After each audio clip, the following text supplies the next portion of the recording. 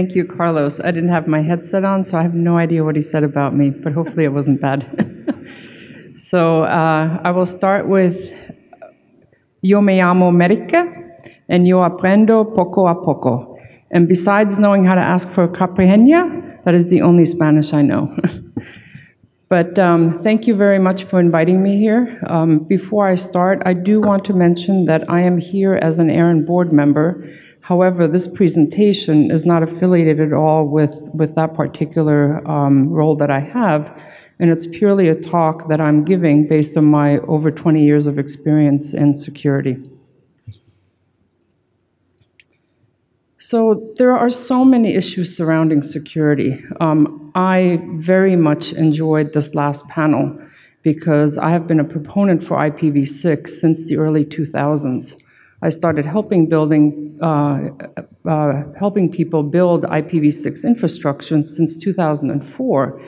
And back in those days, everybody was saying how security was built in, which was such a fallacy right? And I really like to get people to understand what security actually means, not to be panicked about all of the hype that you see in the industry about yet another breach.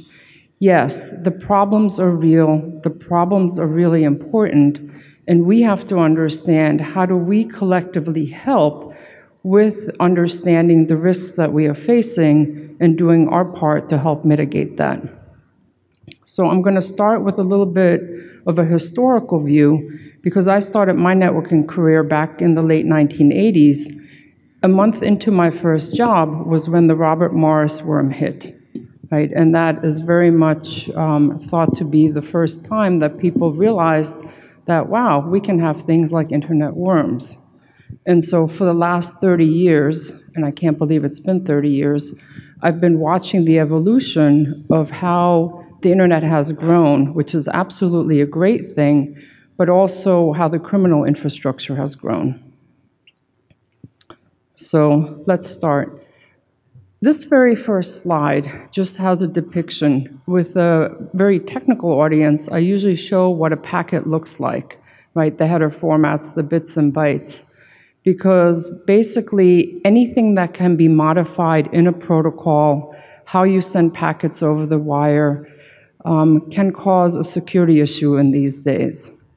Right? Usually denial of services because either a system doesn't know how to handle the, the information that it's getting or you're utilizing too much bandwidth because they're sending replies back and forth and so much bandwidth gets used for um, uh, malicious traffic that's really nonsense.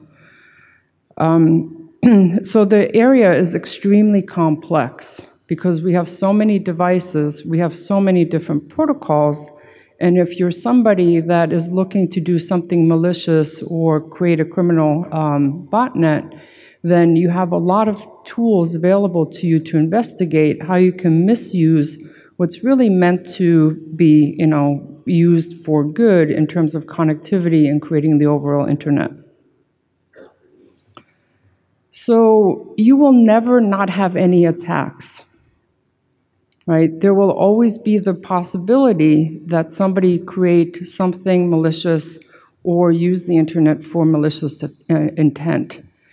Now, I often wonder why in the virtual world you have conversations where people think that they need to have absolute security when we know that in the physical world there is no such thing.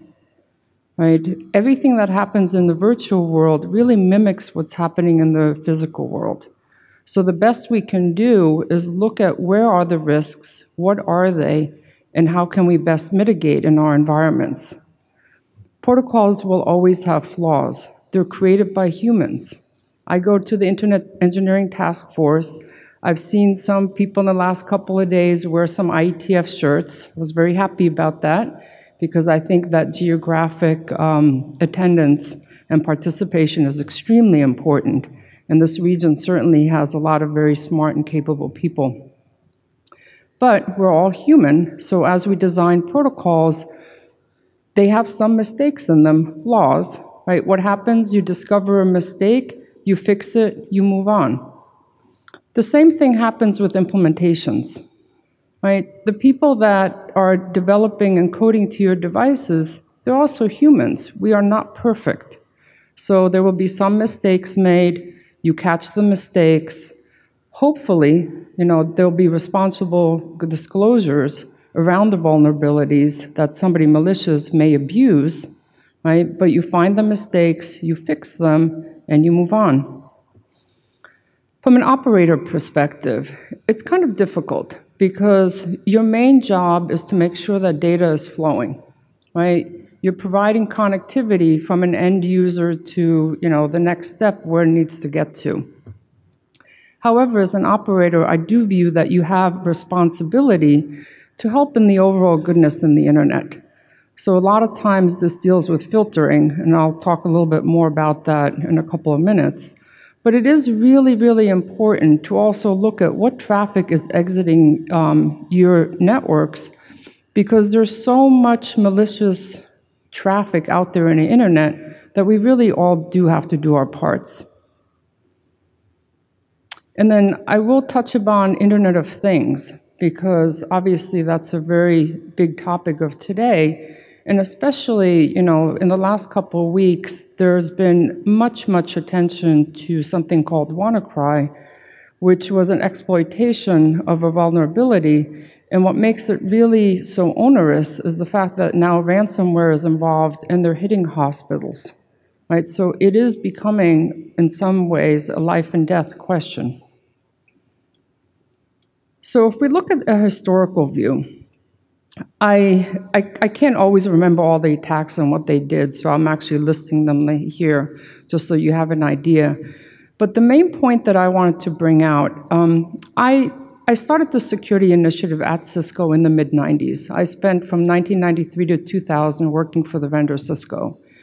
And what we started realizing in the mid 90s was that, you know, the internet can be used for harm. And you know, certain attacks were starting to become um, real.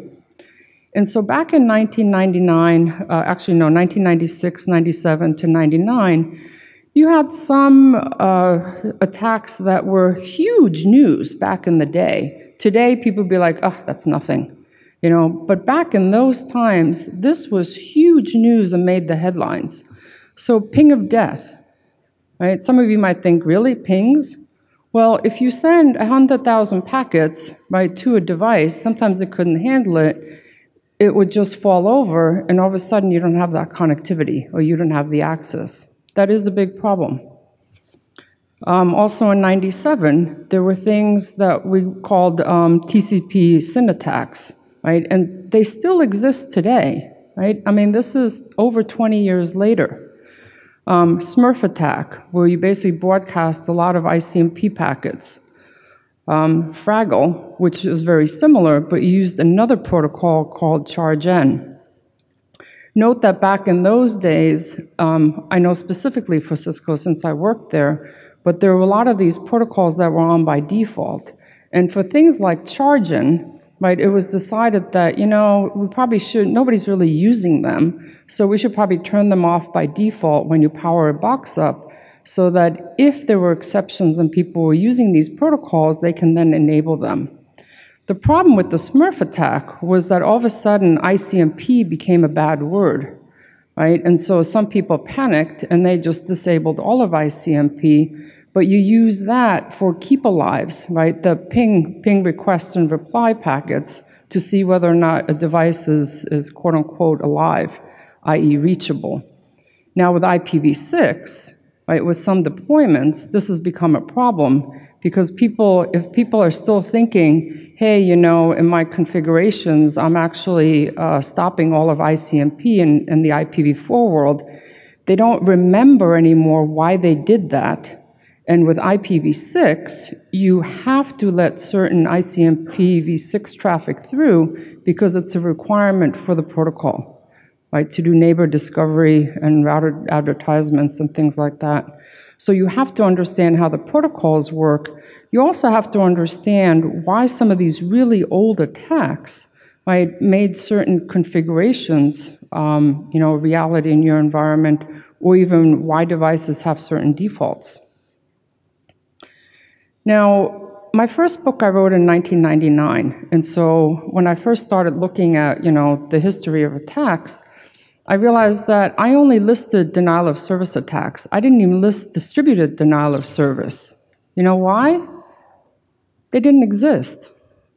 It wasn't until the year 2000 that you started to see distributed denial of service attacks. And so one of the first ones that was talked about was in 1999, which was called Trinoo. And so basically, it you know used master servers um, and it would control many what's known as daemons.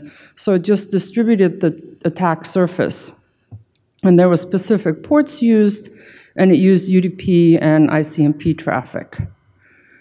Now, of course, attacks evolve also, and so I'm listing here some of the um, advancements that were made for this attack traffic.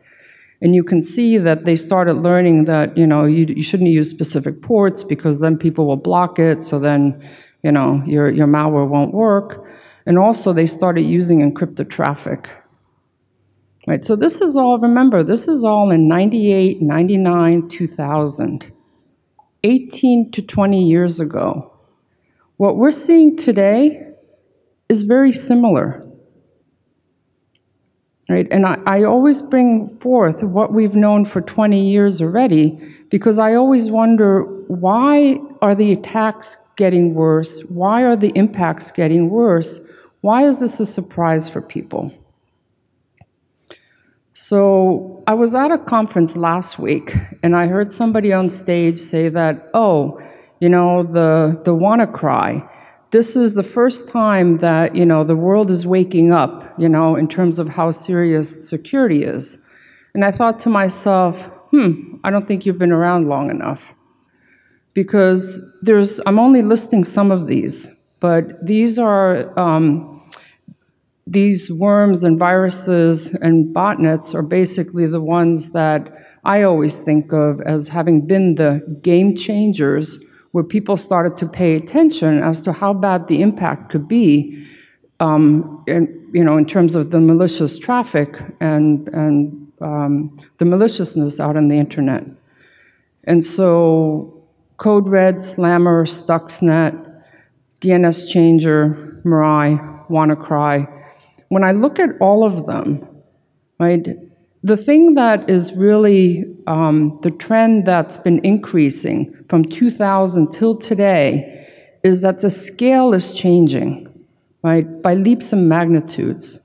The sophistication is changing because attackers are getting much smarter at being under the radar and not getting detected, and also the impact. WannaCry scares me. Why it scares me is because it's ransomware.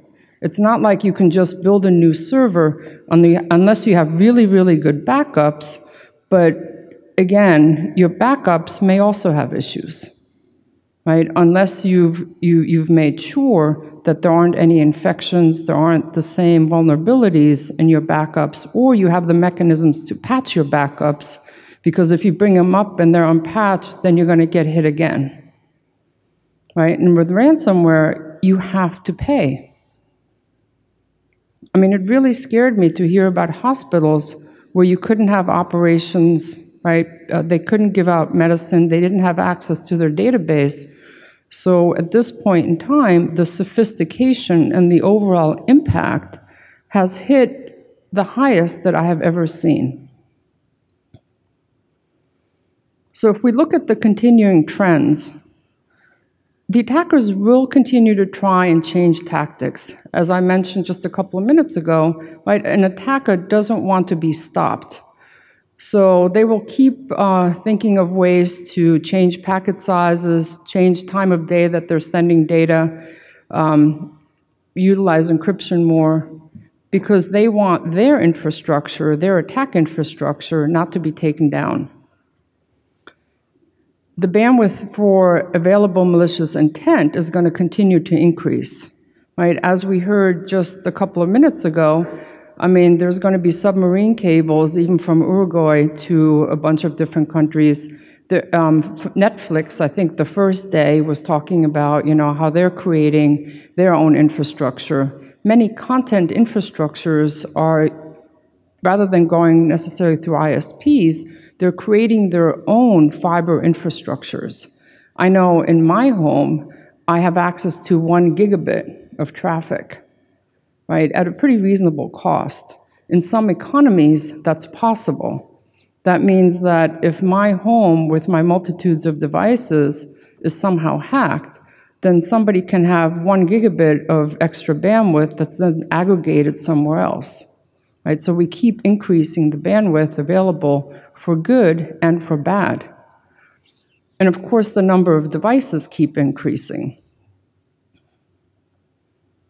So if I look at what the new normal is for networks, I don't even understand what's going on anymore. I used to know networks, right? It was easy. Um, you had a router, you had a switch, and you had devices, right? You connected through the internet and something else on the other side.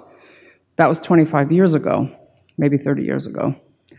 Um, and then, you know, slowly but slowly, we started having proxy devices and, you know, God knows what else. And right now, our, our networks are pretty darn complex. I mean, how many of you look at what traffic is going out of your network, right? Even home networks. Um, obviously, many users don't need to do that, right? Especially home users. But I look at my home as a very small business because I used to have a consulting company. And so I have about five routers, I don't know, seven or eight servers. Yes, it's not the normal home. But when I look at small businesses, right, or larger businesses, do you actually understand what traffic is going where and why? And I will argue that most likely not. So this is part of the problem in that there's so many new devices, there's so many applications, right? We're, we're, we're utilizing the internet for so many good things that are helping us in our overall lives, but that comes at a cost of really not necessarily understanding what is happening on the wire and who's trying to um, do something abusive. So I do test a lot of things at home, and I don't know, about five years ago, I spent money to get one of the first LIFX light bulbs because I just wanted to play with them. I mean, how cool is it to have your iPhone and, you know, make the light go brighter or dimmer or now change it to blue or red? Do I really have time for that? No. Is it cool? Yes. Right. Um, television. I, I do. I very much like IPv6. I'm a proponent. Eight months ago, I bought a new television. You know what my criteria was?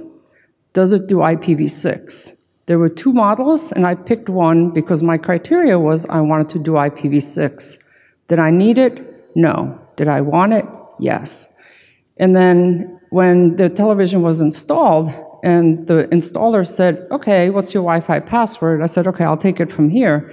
And I started looking at the TV and I realized, ah, it's an Android device.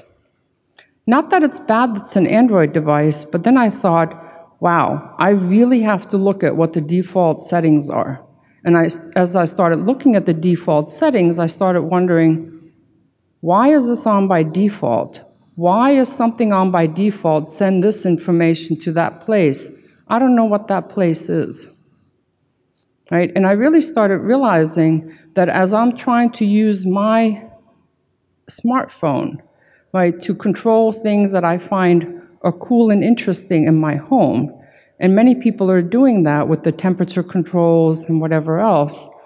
Right? What else is my phone communicating with? Right? And the thing that scares me the most, why am I talking about my home? Because in your work environments, tell me that you use two different phones. In many places, they don't. Right? You have the one phone that you use for work um, situations, and you also use it in your home environment. And who knows what all the applications are on there? Where do you actually do backups, right? What is on your phone, right? Do you have corporate email on your phone when you're doing backups? Are you eliminating, you know, email in the backups that are in the cloud or not? I would argue probably not because you want what's quick and easy. You just want your backups done. So things are getting so complex, but we have to understand where our data is going. So people keep talking about everything is new, you know, things are so rapidly changing. And I will absolutely argue, and I will happily do it over caipirinhas this evening with anybody that wants to, that there are so many things that stay the same that we have to pay attention to. Because saying that security is complex is not an excuse to say, I'm sorry, it's too difficult and I just don't know where to start. So many of the distributed denial of service attacks use the same mechanisms that have been used for the last 20 years. Credential compromise, it is a huge part of how compromises occur. And I will just state that there was a lot of uh, information in the news. I mean, I couldn't read all the Spanish news, obviously, but you know about banks that were hacked here in Brazil, you know, just some weeks or months ago. And there was a lot of misinformation, but what I learned is it really started with a credential hack. Right? You have to know where you're um, where you're vulnerable, right? Just with using passwords, not doing multi-factor, usually two-factor authentication. Knowing your credentials, where they're used and how, is extremely, extremely important. Is it difficult? No. Is it boring? Yes. Okay? I mean, the really cool and fun things like encryption, they're fun. I think encryption is fun. But really, most of the things that are causing the vulnerabilities and the breaches today are just simple things that people aren't paying enough attention to. Implementation flaws, right? You're looking at all the imp uh, impact of WannaCry, right? People didn't patch. Now, I'm not going to sit here and say, oh, the minute that you have a patch, you need to upgrade. If you don't, you know, you're, you're, you're not being intelligent, because that is not accurate. There, in large companies, you have to do impact assessment, right? You have to create a plan for patching because you don't want a patch to cause other issues. That is all fine. But you have to understand what the potential impact in your environment is if you do not patch, and also make sure you have mechanisms in place to make sure that the risk of exploitation is very low in your environment. It's the risk that you take business risk tolerance. And security continues to be an exercise of blind trust. I have seen this for the last 20 years that everybody blames each other, right? I mean, technical standards, oh, the standards are so bad, you know, it's, it's, they already had flaws. Yep, let's fix them. Vendor implementation, oh, look, they have bugs. Yes, I'm sorry, you're human, somebody's writing the code, they're not going to be perfect, but let's assess, right, and let's help each other get better at this. And then operational employments, right, not punting, and that's, I'm not sure if the translators will translate punting, um, but making sure that you don't blame others where there's things that you can do in an operational environment to also help mitigate security risks. So I'm showing this slide because a couple years ago in 2014, there was a really good presentation done at a security conference in San Diego um, that talked about amplification hell. And it really talked about how many of the protocols that we have today can be exploited to create distributed denial of service attacks. And I know that in this region, in many others also, right? There are criminal activities going on where you basically it's extortion. You know, if if you don't do this, then we're going to create a denial of service attack. Well, how are the denial of service attacks realized? Right? Are there things in your environment, devices in your environment that are make it easier to create a denial of service attack? Right? You really need to pay attention to them.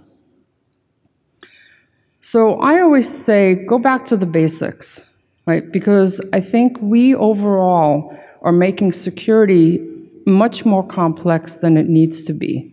Security is a process and it's detailed to attention. But at the very basics, right, what you're trying to do is control access um, to data and to specific areas of the network You want to make sure that the network is available, right? Services and, and data.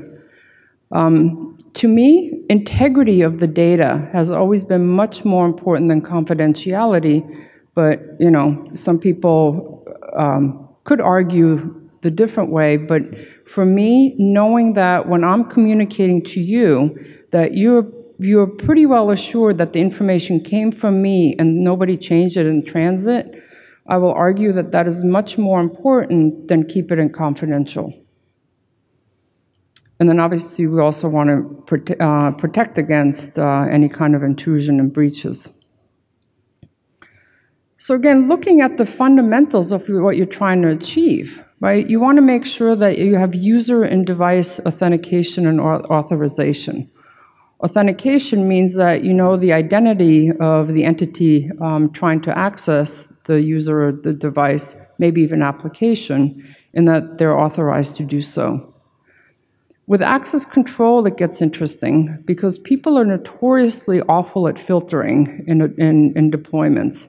And, and I understand this. I used to help people with filters. And filtering is difficult. You know, it looks easy at first, but then when you think about all your backup links and everything that has to work when something goes wrong, right? I mean, filtering really is an engineering project you have to understand what data should be going where. And you can argue that, well, I don't really want to filter, I shouldn't filter because, you know, I'm just a pipe and data should just flow through me. I can't necessarily argue against that, but if you're part of the problem, then if other traffic is hitting you and you're later going to ask an upstream to help filter, why should they do it to help you? right? So we do. Uh, Christine had a, a, comment in the very first day saying, how do we build communities to help each other? And she's absolutely right, because as a community, we do have to help each other.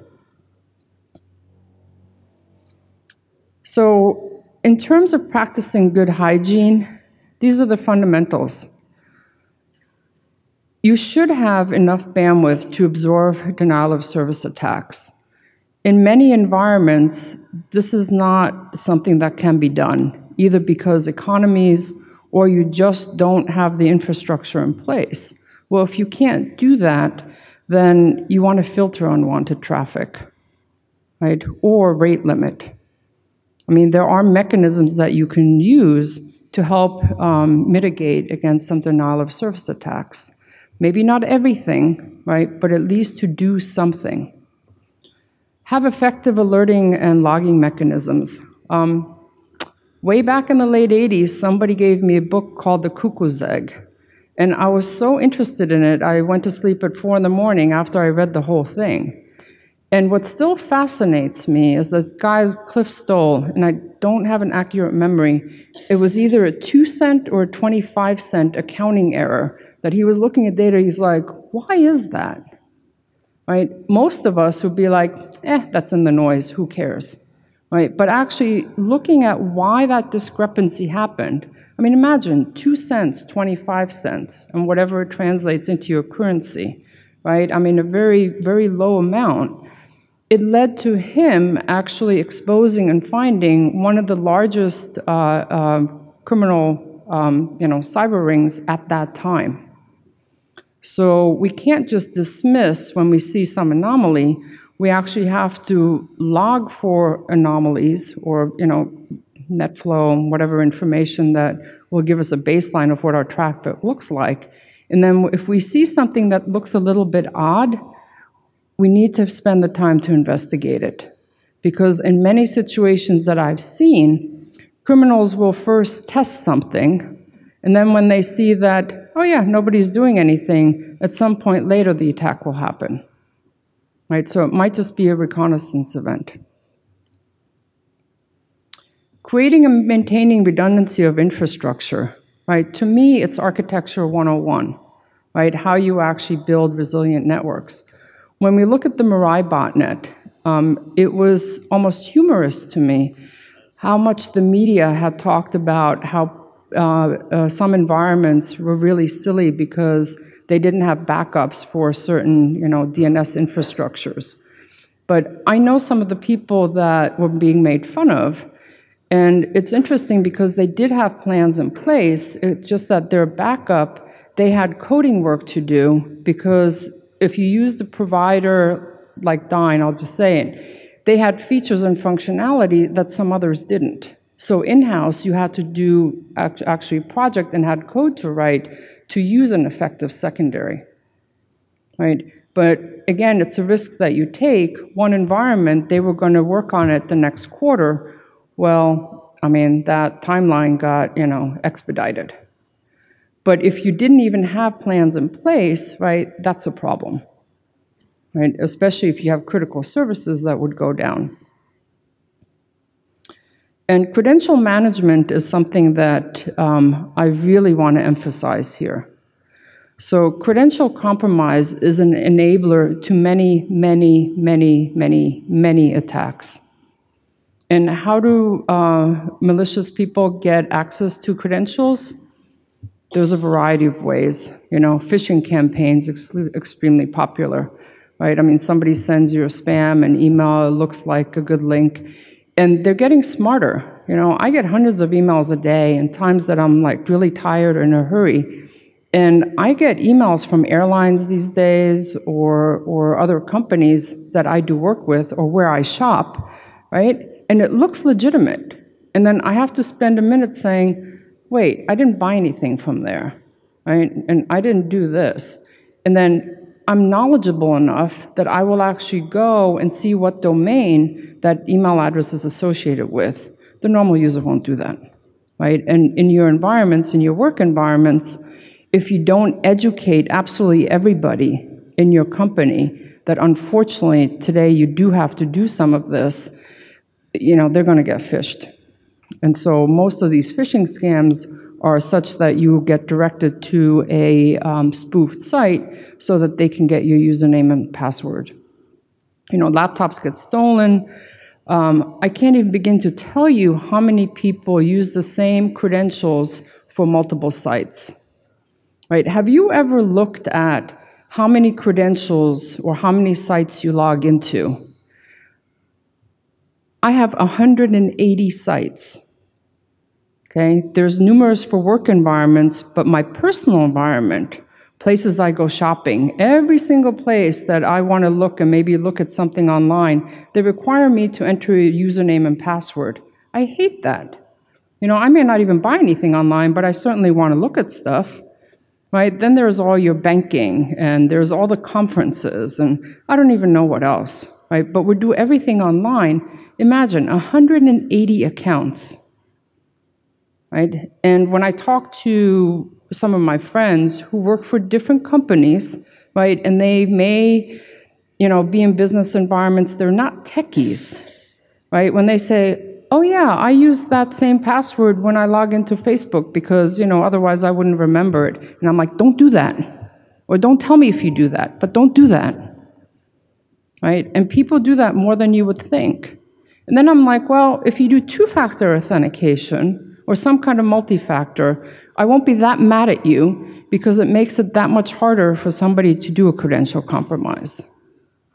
Okay? But you need to think about how these credentials are utilized and how they can be compromised. So I had created this slide um, a while back. Um, I'm also on the Security Advisory Council for ICANN, and we had done a, a paper um, that dealt with best practices for credential management. And we came up with all the ways that people use and abuse credentials, right? And so basically, when you're creating, changing, or revoking or renewing credentials, right, your passwords, your keys, your public-private keys, then you need to look at how do you distribute them, how you store them, how you recover them, how you delegate or transfer them, revoking, destroying. These are all process issues. And I usually think of it as a pilot's checklist. A, a lot of my friends, for whatever reason, um, you know, in the tech industry, have decided that once they had some money, they wanted to learn how to fly right? And so there are some of my friends that I will never get in an airplane with because they're the ones that are like, oh yeah, I checked the fuel yesterday. And I'm like, all of a sudden I have to get a haircut or something, right? Because they have to check every single thing. I mean, who knows if you had a leak and all of a sudden, you know, some fuel leaked out and you only have half the tank left. Right? And I view security as the same kind of thing. It's extremely detail oriented. And when it comes to credential management, it is extremely detail oriented. You have to understand what you're doing. Um, three, four years ago, um, when we had Heartbleed, um, I was working in some environments and I heard of a story where um, the people that were sending out customer notifications were trying to be really helpful and they would send out, they wanted to send out the new passwords in clear text email. Right? Now, I don't laugh at things like that because I'm in it to educate people. Not everybody's had 20 years of security experience, even five years, or maybe even one year. Right? They're trying to do their jobs, they're trying to be helpful, and so we have to continuously educate each other. But credential management really is huge, and it's huge in everybody's environment to understand. So know all the credentials that are utilized, you know, your certificates. Later this afternoon, you're going to hear about the DNSSEC root key rollover, right? October 11th, very, very, very important day, right? And we have to pay attention because whenever you're doing credential renewals, right, there's things that could fall through the cracks. So we have to pay attention to the details. Vulnerabilities. Um, I was a chief security officer three years ago at a company, and I have to tell you that it's extremely difficult to keep up with all the vulnerabilities with all the devices and operating systems that may be in your environment but you have to try as best you can. Um, and again, WannaCry, right, a very, very good example. And so put yourself on mailing lists for the vendors, get updated somehow on, you know, you have to understand all of the operating systems, all the systems that are using in your environment, and somehow get notifications when there's a vulnerability that's disclosed. Um, I am a huge believer of certs, national certs, and you know all the other ones, because watching what's happened in the last 20 years with sharing information and sharing with trusted groups has been really important in helping uh, mitigate so many attacks and so much information. Because the earlier that you know of certain issues and situations, the better you can protect yourself. Right? And I do understand that many national certs, it's a matter of how much do you trust them. I have worked with many here in the Latin American region, and I can tell you that from a technical level, they are some of the most astutest that I have ever come across. You know, and I would just encourage you to create relationships and talk to each other because the sharing of information to help stop some of this activity and understanding what vulnerabilities exist is really, really important. I'm just going to touch briefly on DNS because I don't have enough time. But I used to do security assessments. Um, I left Cisco in 2000. I had a company for 15 years where I just went around the world and helped people with security issues, right? Understand it, uh, give advice to vendors on what they should do, and then for other companies, did security assessments. And I will admit that for the first five to seven years, I didn't include DNS because it wasn't something I really ever thought about. And then I'd say about 10 years ago, right, I started looking at what's going on and how much the DNS was being utilized for criminal activity. And so we have to pay attention as to what domains are getting utilized or created right? Are they being created for harm? Are they being created, um, you know, for good, but somebody is, is using them for harm? But really understand what is happening to your DNS. Um, I had a slide earlier that talked about game changers. DNS Changer was one of those. And what DNS Changer was, if you look at this slide, it kind of shows what supposedly happens, right? Where an ISP will um, you know, give the corporate uh, environment a, an IP address that's basically the, here's uh, you know, your DNS recursive resolver address. But many people change that, you know, or companies say, you know, we have our own, or, you know, they go to 8888, which is Google. There's other companies also that are creating managed open recursive resolvers. But the key point I want to make here is understand what is going on with your DNS. Because DNS is very often utilized as a mechanism for malicious and criminal activity. So you'll see these in the slides that I have. Understand who your registrars are, um, what they do, how they validate identity so that they don't um, do any domain hijacking, and understand all the domains that you use and monitor for any kind of abuse. So sharing, we need to get better. I mentioned that already. Criminals have no barriers to sharing. They share everything, infrastructure, um, credit card information, right? Sometimes they just sell it. I mean, this whole underground economy.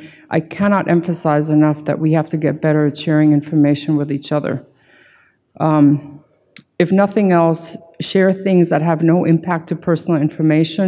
If you're sharing uh, information on here's here's uh, you know who's doing any kind of SSH brute force attacks or amplification attacks, that really shouldn't impact any kind of re uh, regulation issues.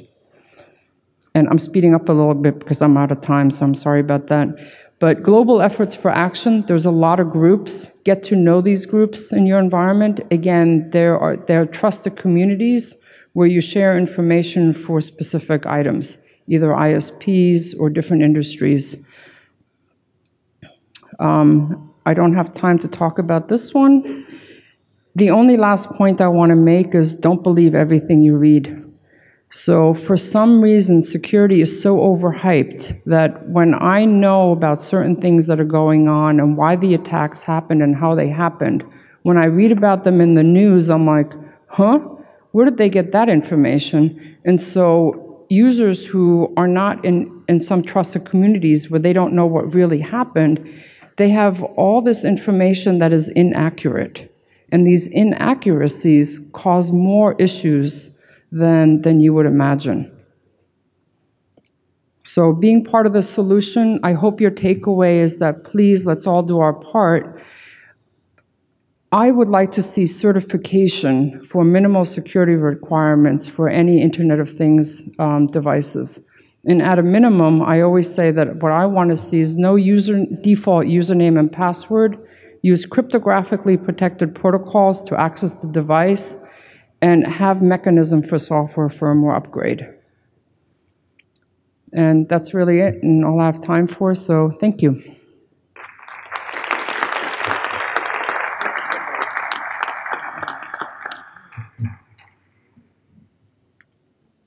I don't know if I have time for questions. Sí, si hay alguna pregunta, unos minutitos, uno o dos minutos.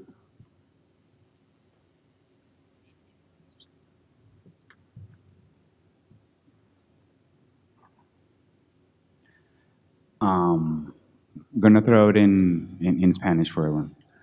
Quisiera conocer tus opiniones, Merique, respecto de la implementación de eh, validación de las direcciones de origen, Source Address Validation, y toda la situación acerca de los resolutores abiertos. Si pudieras compartir tu, tu parecer al respecto, por favor. Absolutely. And if I understood your question correctly, it was what do I think about uh, source or address validation? And yeah, if you can share your thoughts and your suggestions to this community with Yes. regards to source address validation and open resolvers. So uh, there is still a lot of denial of service attacks that utilize spoof traffic. And anti spoofing mechanisms are extremely important. And this is where I was talking earlier about filtering.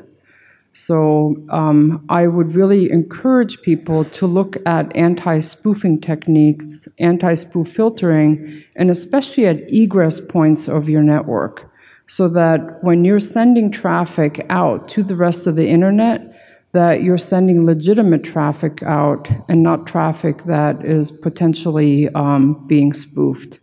And for any of you that um, want more information, I, I, took out a slide that I specifically had on anti spoofing because I thought the presentation was getting too long. But there is some excellent work being done um, uh, by CAIDA, C A I D A. And if you Google for Spoofer Project, S P O O F E R project, you will find some updates, and there's some really good information in there where you can actually look in your environment to see whether or not spoofing is, is something that you're allowing. And if so, then hopefully you will look at how you mitigate that. Hello. Uh, I'm going to speak in English. Thank you. Oh, Uh, My name is Alex. I'm from Mexico. I just want to ask you about the idea now that that we're having IPv6, uh, so to say, we have now a public IP on every device. Uh, what's your opinion about, about that on a security matter? I mean, uh, I have some thoughts about it, about the idea now that we have the ransomware everywhere. I don't know, maybe we, we, we will be needing antivirus for for a smart TVs or a smart uh, smart uh, fridge or something. I just want to ask your opinion about it. I'm, I'm not sure I caught the first part. Were you asking about IPv6 specifically? Yeah, the idea of having a public IP on every device with IPv6. What's your opinion about it on a security matter?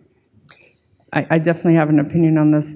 So um, I am not a believer of hiding addresses. And the reason why is because to me it's obs- uh, security through obscurity, and people get lazy about actually understanding and creating effective filters. And so I've had discussions with many people about whether or not you have ULAs, right, which are the private addresses. I do not like them. I mean, this is a personal choice, personal preference, because I think that if you're architecting to the best security environment, you should be very cognizant of what traffic you allow uh, through different entry points uh, in your networks. And so I think that hiding the addresses sometimes causes more harm, and then protocols have to be changed, and it just causes much more confusion than actually trying to figure out how do you not hide and how do you mitigate the risk.